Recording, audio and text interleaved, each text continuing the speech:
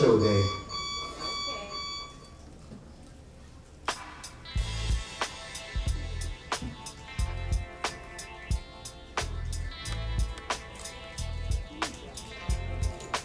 never fails that when I work on a show this size, people start to ask me a lot of questions.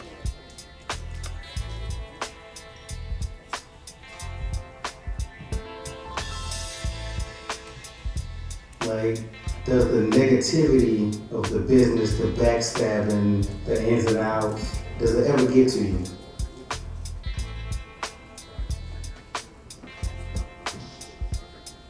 Does the constant struggle and grind of being successful, does it ever get you down?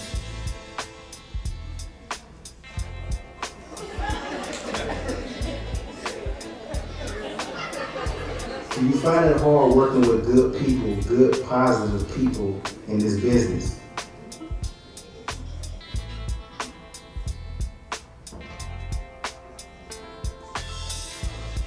Do you feel like leaving North Carolina and starting up somewhere else?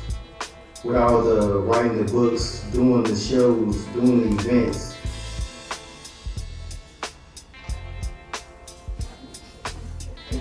Do you ever think this will be the last year that you do this?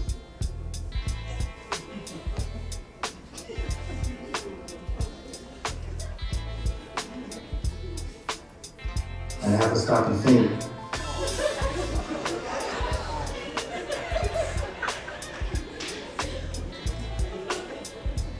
And my only answer is